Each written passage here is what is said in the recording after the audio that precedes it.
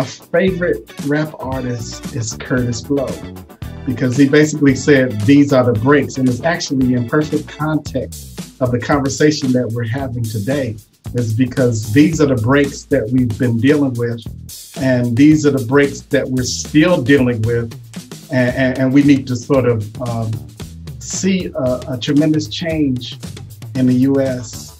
around research funding and or funding um, the same institutions um, over the past 20 or so years without making a significant um, change in the situation. If you look at just the National Science Foundation and how much funding that they've put into increasing the number of STEM students who are from underrepresented minority groups over the past, let's say 20 or even 30 years, um, myself included, I benefited from those investments and, and I'm here because of some of those investments.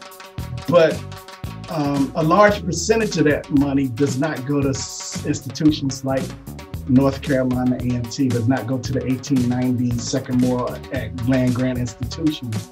And it goes to uh, the same institutions who get all of the rest of the funding. And, and, and this vast inequity in uh, funding has left us as a, as a nation as not making a significant impact in yeah. this area.